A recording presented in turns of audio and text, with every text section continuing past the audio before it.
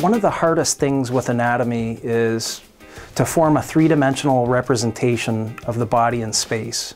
The anatomage table is just kind of mind-boggling, really. Imagine a, a giant life-size table that looks like a giant iPad. You're able to uh, put your fingers on the surface of the anatomage table, zoom in, zoom out. You're able to cut various layers of the bodily tissues, look at the organs, look at the muscles, rotate them, slice them, layer them, segment them. Just look at one body part.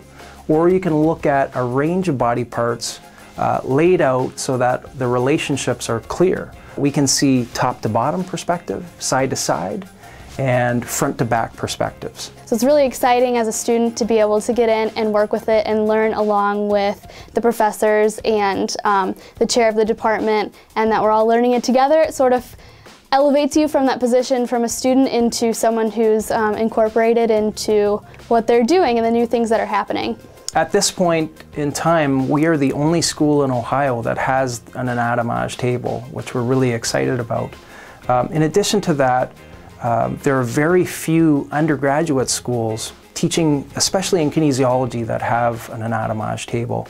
Most of the schools are, uh, that have the table are associated with medical schools or other health professions. When we had the person from Anatomage come and do a training session with us to teach us some of the basic things that the table can do, um, I could just see from watching him talk about it and from just growing up around technology that there are so many things that this table can do, so many capabilities that we haven't even scratched the surface of yet.